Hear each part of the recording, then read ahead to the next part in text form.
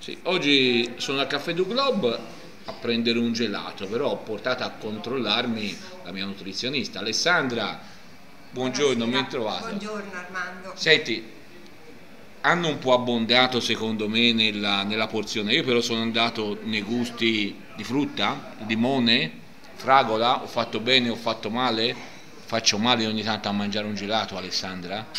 Eh, allora, il gusti è giusto che ognuno eh, segua i propri.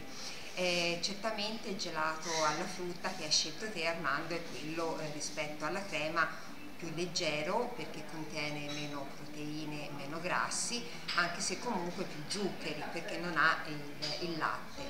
Eh, la scelta del gelato può essere fatta a qualunque momento della giornata eh, molti lo utilizzano anche come pasto e probabilmente questo per te oggi rappresenta il tuo pranzo. Eh, diciamo di sì. È una scusa, vero? È una scusa, sì.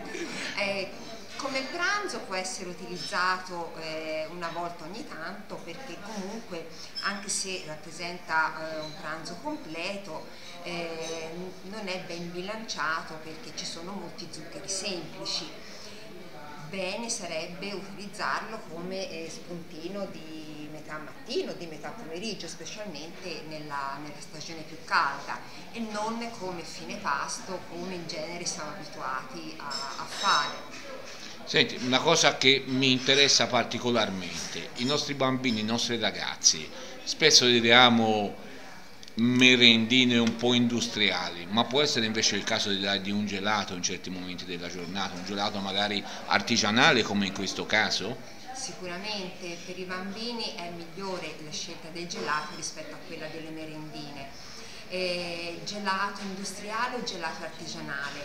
Fortunatamente eh, oggi anche il gelato industriale è ben controllato però il gelato artigianale rimane comunque eh, di qualità maggiore, intanto perché conosciamo gli ingredienti, quindi eh, la produzione eh, di prodotti, l'uso di prodotti a chilometro zero, come per esempio il gelato che stai gustando te oggi e tra poco comunque con il secondo cucchiaino verrò a prendermi un po'. Un po' di prova su strada, via. Sì, di prova su strada, anche se ormai questo gelato è ben conosciuto.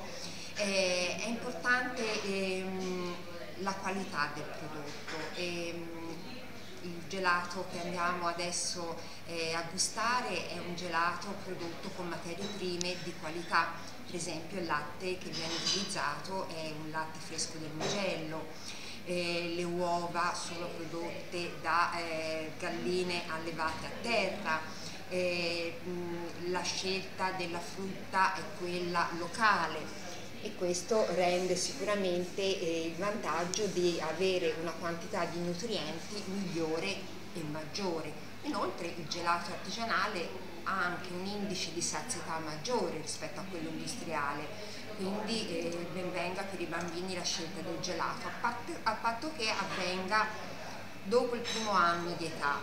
Eh, prima è bene che il bambino inizi dai sei mesi lo svezzamento gradualmente inserendo anche il gelato a partire anche da gusti eh, tipo eh, limone, la fragola un po' più tardi per eventuali problemi di allergie, così come gelati con la nocciola e comunque con la frutta, con la frutta secca.